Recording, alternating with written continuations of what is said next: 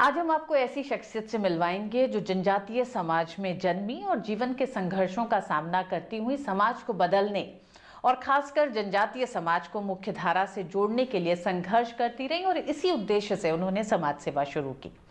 समाज सेवा से राजनीति में आई और अब वो एक संवैधानिक पद पर आसीन है।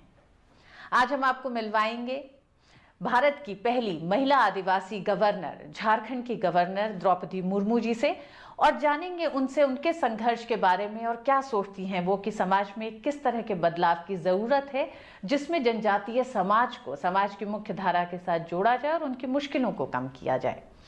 द्रौपदी जी बहुत बहुत स्वागत है आपका हमारे इस कार्यक्रम में तेजस्वनी में। और हमारी आज की तेजस्वनी आप ही हैं।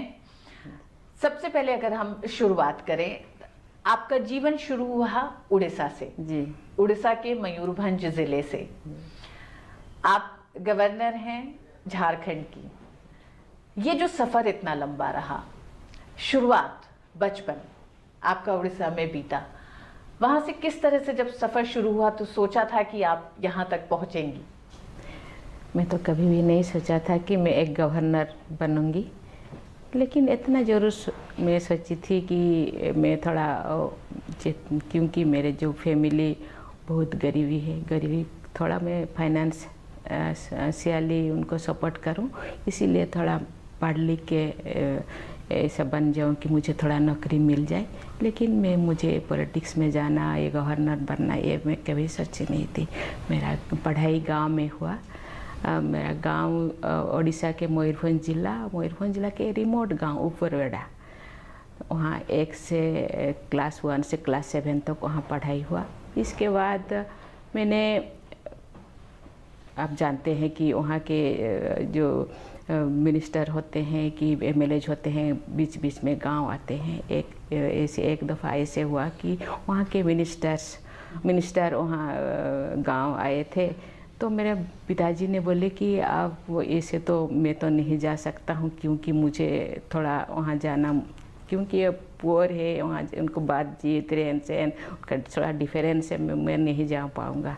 आप जाइए तुम जाओ और अपना सर्टिफिकेट उनको दे दो। तो वहाँ मीटिंग चल रहे थे।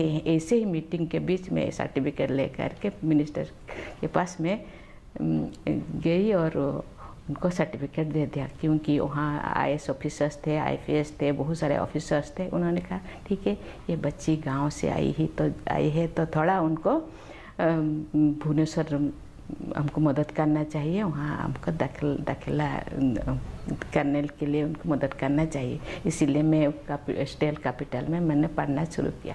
क्लास एट से मैट्रिक फिर ग्रेजुएशन तक। तो आप ये उस समय किस क्लास में थी जब आपने उन लोगों के सामने ये क्लास कि seven class seven class seventh में।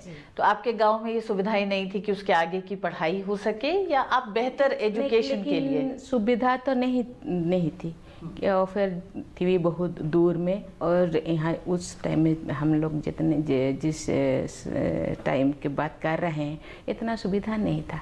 आदिवासियों के लिए आश्रम तो था, लेकिन मेरे पिताजी इतना अवार्ड नहीं थे कि वहाँ कैसे एडमिशन किया जाता है, कैसे करने से, किसको बोलने से, क्या करना चाहिए, उनको मालूम नहीं था। इसी, इसीलिए मुझे गाँव में ही पढ़ना पड़ा।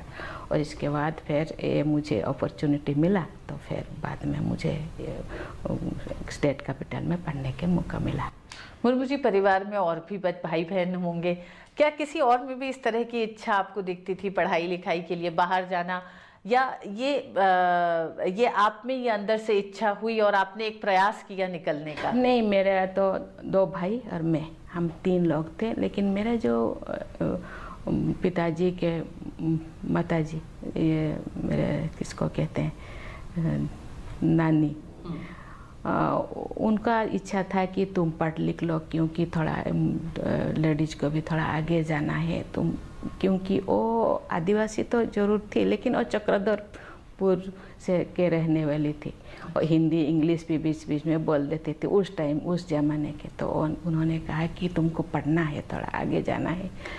तो मैंने बोला, ज़रूर, मैं पढ़ूँगी। लेकिन कहाँ पढ़ूँगी नहीं स्टेट कैपिटल में एक ऐसे मैंने सुना कि स्टेट कैपिटल में एक गर्ल्स के लिए एक हॉस्टल है। वहाँ पढ़ाई लिखाई बहुत अच्छा होता है। वहाँ पढ़ने से तुमको बहुत आसानी से नौकरी मिल जाएगा। तो मैंने सोचा, ज़रूर, मैं पढ़ूँगी। लेकिन मेरे जो दो भाई, वो गाँव में रहे। इतना फाइनेंशियल सपोर्ट नहीं था उनके लिए और गाँव में रहे। तो वो थोड़ा जो फ्रेंड्स के सर्कल में वो पढ़ाई लिखाई ज़्यादा नहीं की। गाँव में ही उन्होंने रह के मैं ही पढ़ा लिखा। जनजातीय समाज आम समाज से वैसे ही थोड़ा सा कटा हुआ माना जाता है।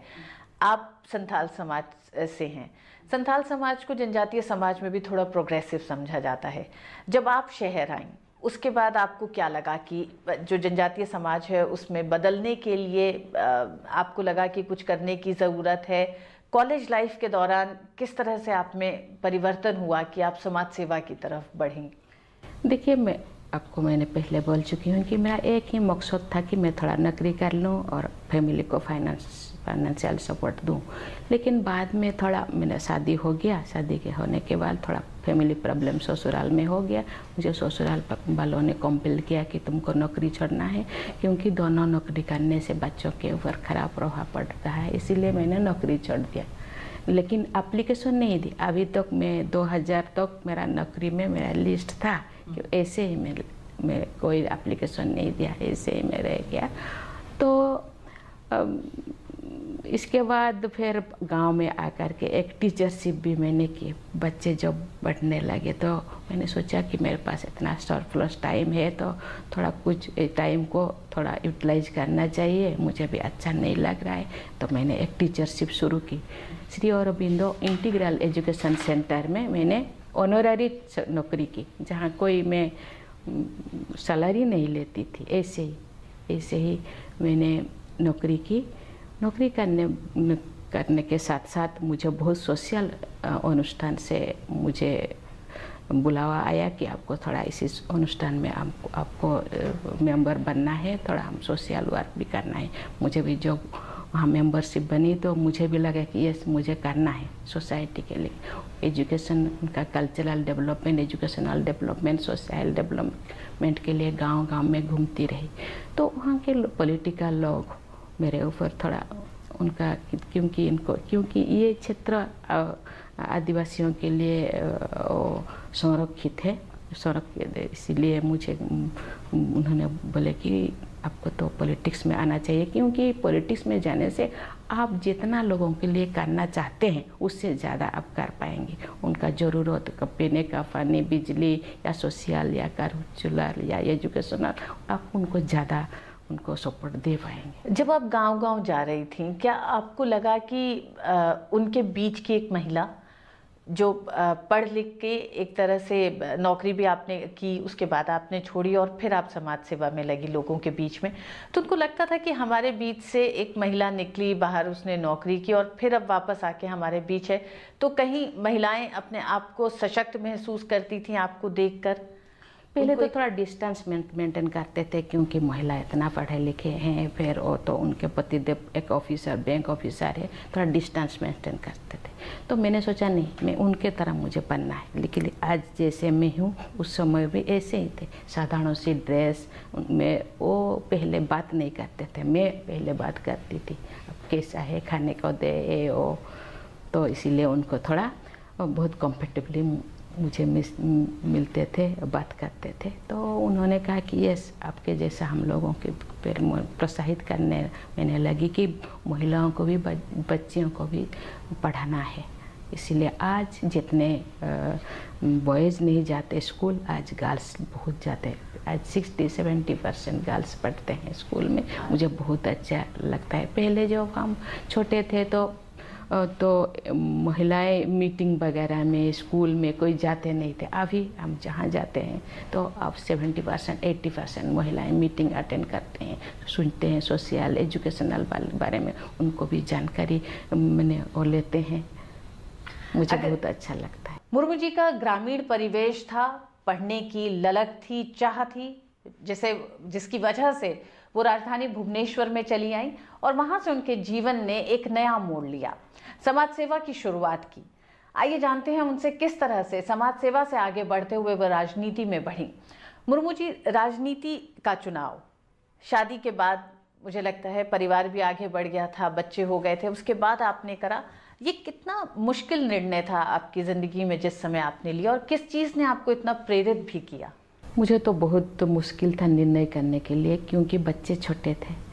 और राजनीति को उस उस उस दौरान अच्छा नज़रिया से नहीं देखा जाता है ज़्यादातर महिलाओं के लिए, क्योंकि मैं जिस सोसाइटी से बिलोंग करती हूँ, वो राजनीति को मैंने नहीं जाना चाहिए, महिलाओं को नहीं जाना चाहिए और सोचते थे। लेकिन मैं जो, वहाँ स्कूल में मैं टीचर्स थी तो टीच वहाँ के बगल में अपना एक जो मंत्री मुझे जो, जिन्होंने मुझे दखला दिया, जो पढ़ने के लिए स्कूल में दखला दिया, उनकी एक दोस्त रोज़ मुझे मिलते थे। मैं जो स्कूल छुट्टी हो जाता था द्रौपदी आपने क्या सोचा? मैंने जो आपको जिगर किया था, आपको पॉलिटिक्स में आना चाहिए सोशल वर्क कर रहे हो, थोड़ा फ़ील्ड बहुत विस्तार फ़ील्ड, बड़ा फ़ील्ड होगा काम। मैंने बोला, नहीं मैं तो नहीं होना चाहिए। इसके बाद मेरे पतिदेव को, उन्होंने पतिदेव का थोड़ा वीकनेस पॉलिटिक्स के पर बहुत वीकनेस था, उनको थोड़ा उन्होंने समझाया। तो मैंने बोला, ठीक है, क्योंकि महिलाओं को पॉलिटिक्स में मुझे जितना तर पता है, जितने मैंने सुनी है कि ऐसे रात दिन वहाँ काम करना पड़ता है, रात को भी जाना पड़ता है, कभी रात भी टूट करना पड़ता है और पुरुष लोगों के साथ जाना पड़ता है। तो इस, ये जो बात आपको अच्छा लगेगा तो ज़रूर मैं जाना चाहूँगी।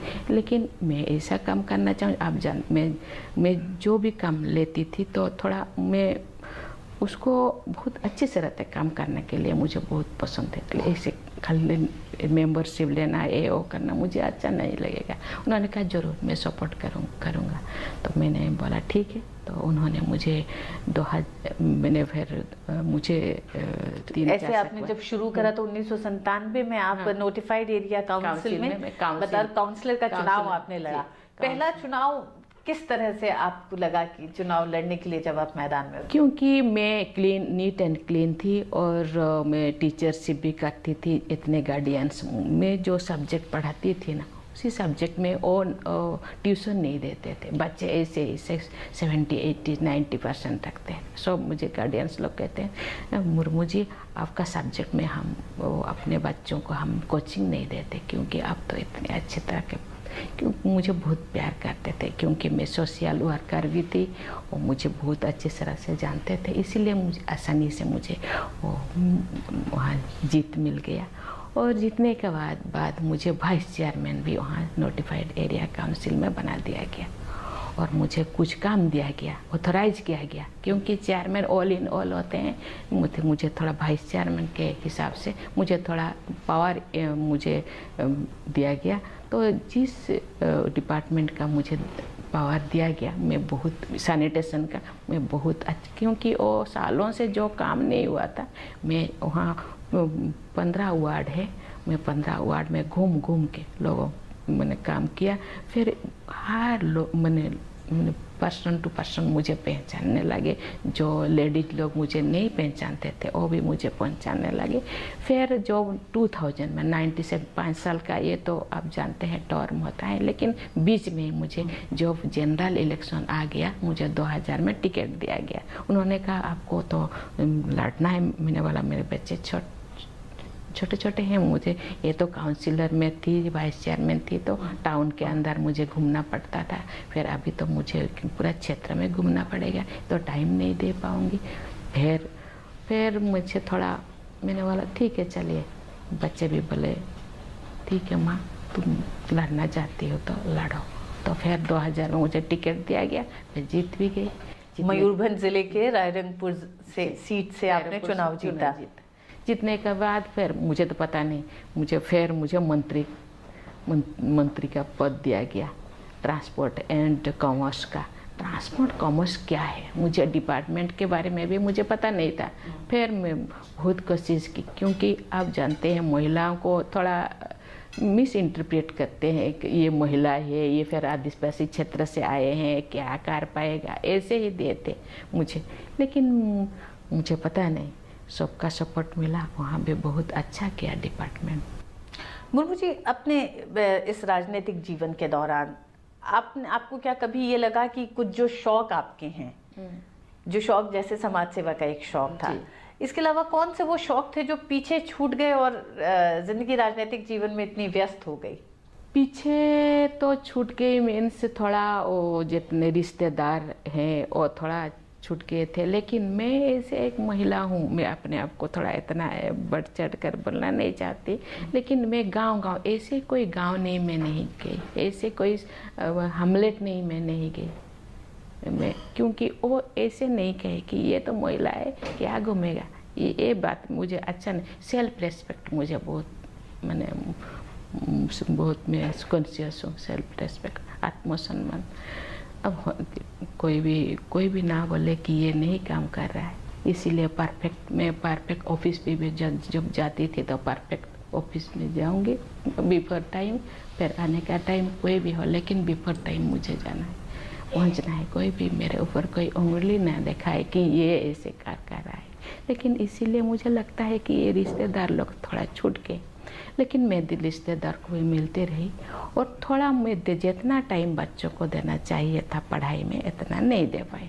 क्योंकि मैं एकदम लग गई कि मुझे अपना मान सम्मान ये और सोसाइटी सोशल गाँव के मैंने गाँव को सुधारना गाँव को बदलना है। गाँव को बदलना इसीलिए थोड़ा थोड़ा। लेकिन मेरे फैमिली का सपोर्ट मुझे मिलता रहा बच्चे भी और मेरे पति देव बहुत सपोर्ट करते रहे। राजनीतिक जीवन और पारिवारिक जीवन। महिलाओं के लिए थोड़ा सा चुनौती भरा हो जाता है दोनों को एक साथ चलाना, क्योंकि राजनीति भी आपका ज़्यादा वक्त मांगती है और परिवार भी। इस दौर में किस तरह के मतलब संकट भी सामने आए? कैसे दोनों चीज़ों के लिए आपने समय निकाला परिवार से? मंत्री बनने के बाद एमएलए बनने का थोड़ा मुझे, मेरे रिश्तेदार बहुत से मेरे जो, मेरे एक भाई है, भाभी है, उनका बच्चा नहीं, उनको मैंने बुला लिया। मेरे माँ को भी बुला लिया, माँ, आओ, यहीं रहो।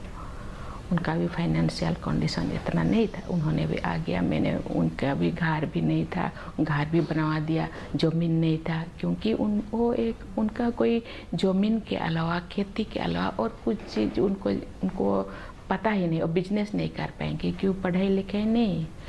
इसीलिए ज़मीन खरीद दी उनको घर बनवा दिया, और तुम खेती करो, और अच्छा घर में रहो। और माँ को और मेरे एक भाई भाभी को बुला लिया, बस उन्होंने मुझे मदद की। आज जब मुड़ के ऊपर बाड़ा को देखती हैं, जहाँ से आप निकली, आपने गाँव छोड़ा, क्योंकि पढ़ाई अच्छी नहीं थी और आप शहर में पढ़ना चाहती थी।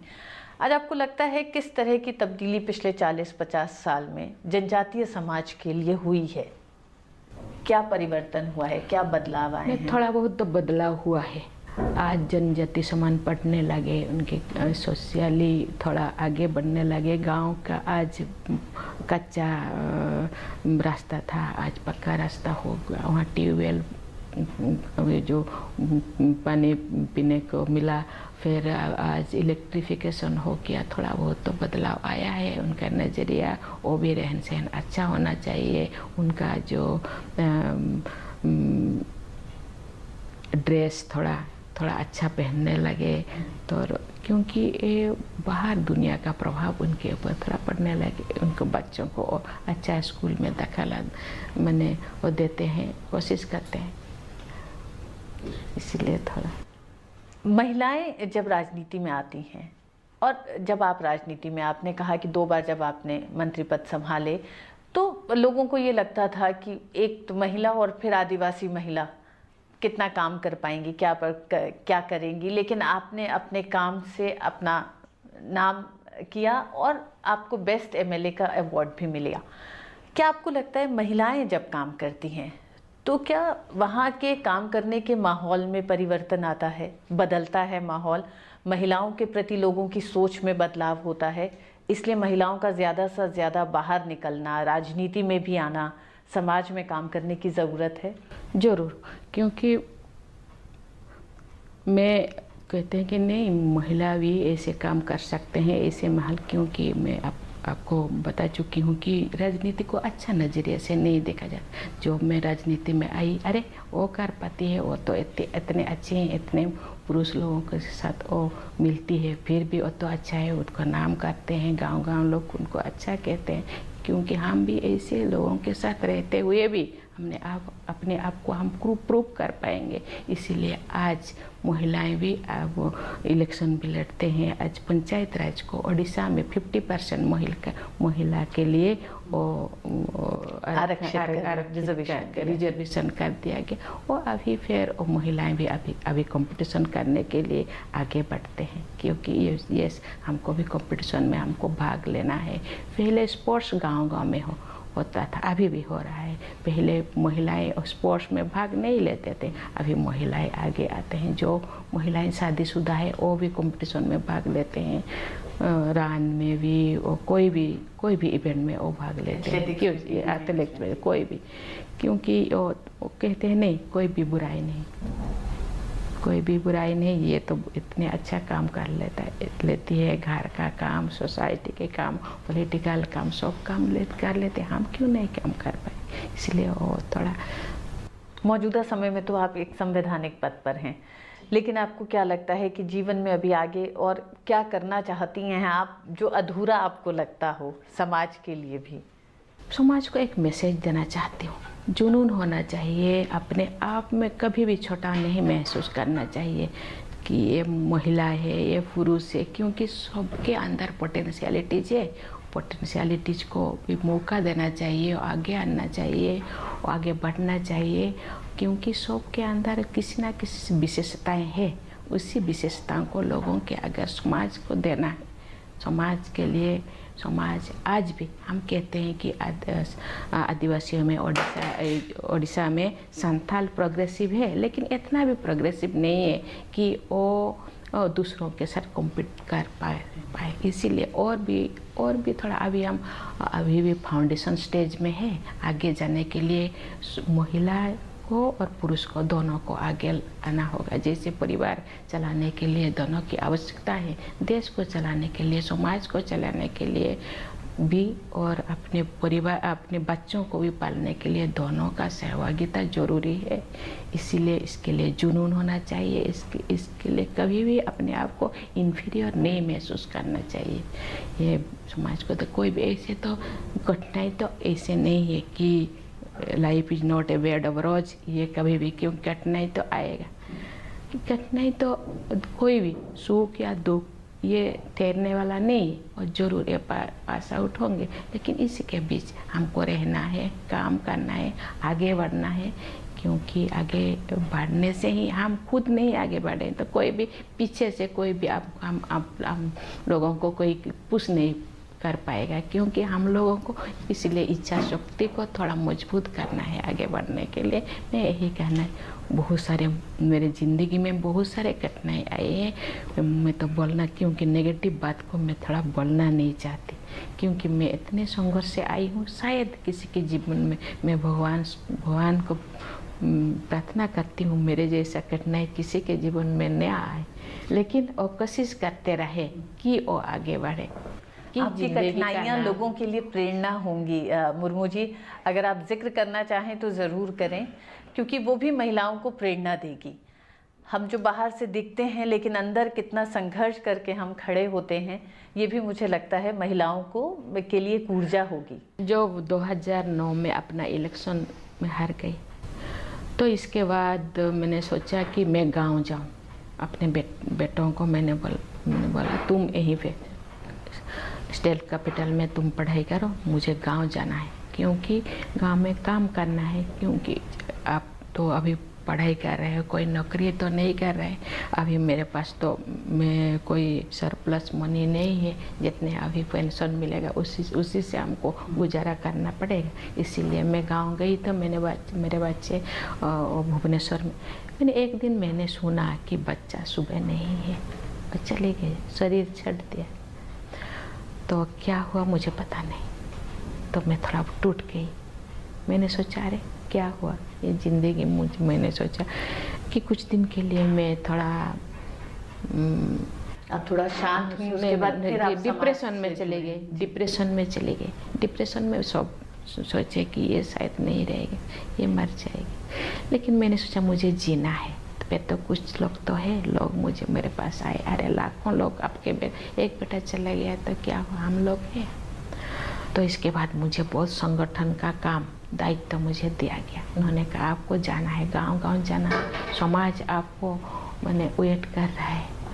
वो गाँव जाना है लोगों के लिए काम करना। है फिर मैं थोड़ा दो चार महीने के बाद मैंने सोचा थोड़ा मुझे रिलीजियन के आ, के आ, दिशा में मुझे जाना है। मुझे तपस्या थोड़ा करना है माइंड्स को थोड़ा सेट करना है। इसीलिए मैं ब्रह्मा कुमारी ज्वाइन किया। दिन रात मैंने थोड़ा मेडिटेशन करते रहे माइंड को थोड़ा सेट कर लिया, फिर गाँव गाँव घूमे, फिर इसके बाद फिर गाँव में, फिर प्रवचन भी मैं करने, देने लगी गाँव गाँव में कि कैसे रहने लाइफ में कैसे ये बदलाव लेना चाहिए। तो जितना नेगेटिविटी है अप, अपने पास काम क्रोध लोभ मोह अहंकार है फिर इतने नशे थोड़ा वो तो एडिक्टेड आदिवासियों का अंदर थोड़ा है इससे तो इस इसको थोड़ा थोड़ा छोड़ना है ज़िंदगी में आगे बढ़ना है परिवार को आगे लेना है और थोड़ा मैंने करने लगे फिर दूस फिर दो हज़ार तेरह में दूसरा बेटा चला गया। और मेरे दोस्तों के साथ और कहाँ तो एक्सीडेंट में उनका भी देहांत हो गया। तो फिर मेरा पतिदेव पर डिप्रेशन में चला गया। पतिदेव का 2014 में पतिदेव का देहांत हो गया। मेरे माँ का देहांत हो गया, मेरे छोटा भाई का देहांत हो गया। तो जीवन को बहुत संघर्षों से उतार चढ़ाव से निकलते हुए फिर आप समाज के साथ जुड़ी। और आपने अपने जीवन को पूरी तरीके से समाज के लिए समर्पित कर दिया। मुर्मू जी, जीवन के इन तमाम संघर्षों से आप उबरती हुई, अपने आप को आपने समाज के लिए पूरी तरह समर्पित कर दिया और समाज सेवा में लग गई। मुर्मू जी, समाज की उन तमाम महिलाओं के लिए प्रेरणा है, जो संघर्ष से थक जाती हैं, डर जाती हैं और थम जाती हैं।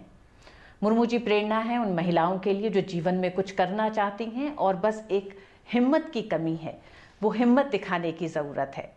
सलाम है हमें समाज की ऐसी तेजस्वनियों पर।